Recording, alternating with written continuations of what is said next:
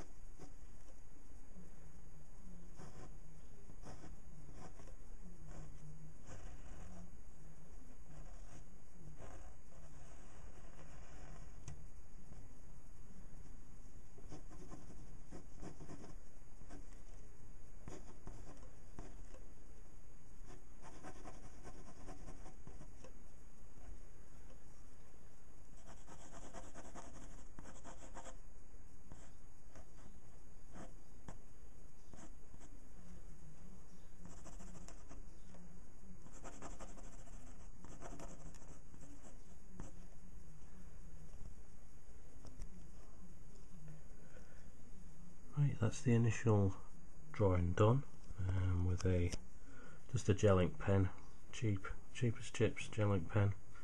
Uh, I'm going to rub out all the pencil lines and I'm going to start to colour uh, the image and see what we can create.